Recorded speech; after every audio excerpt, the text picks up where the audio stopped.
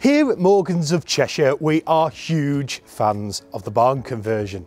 And today we're at this beautiful 18th century example. Welcome to Gorstage Stables East.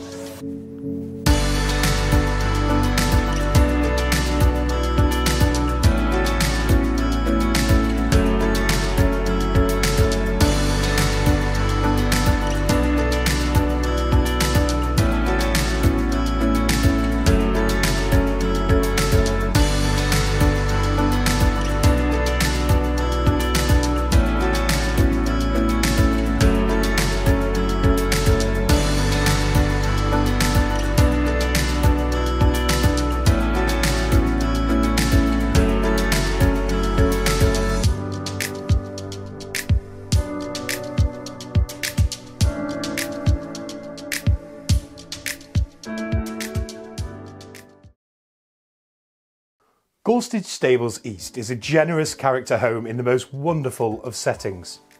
Tucked away down a tree-lined driveway, even the approach is something to savour. As soon as you set eyes on its ever so attractive facade with striking weather tower set behind its own cobbled drive, you know what lies beyond is going to be something special. Large reception spaces make the most of the wonderful rear garden, flanked by a Grade 2 listed wall separating it from the original manor house. Whatever window you look out of, the view is a delight. Speaking of windows, there are plenty of them. Filling the large archways that reflect the property's equestrian past, there is a wealth of light not always typical for a barn that emphasises the feeling of space and well-being. The ground floor is a wonderfully restrained, even simple layout that allows the occupier the freedom and flexibility to live how they want. There is even the possibility of extending into the coach house, currently a near double height garage partially converted into a studio to create more living space, a games room, or even a full annex for a relative, of course subject to relevant planning consents. Upstairs doesn't disappoint either. Vaulted ceilings and beams abound, giving each of the four bedrooms a character of their own.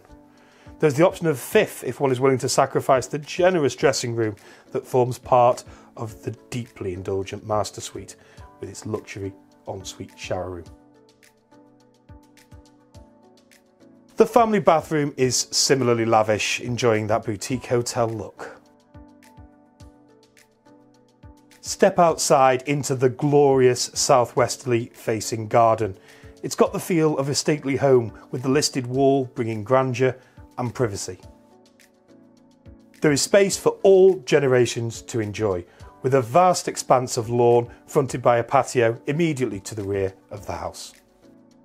I absolutely adore this barn conversion and not just because of all its obvious qualities. Yes, it's beautiful to look at. The gardens are glorious, the surroundings idyllic, but it's actually as practical as it is pretty. And that makes it a really special family home.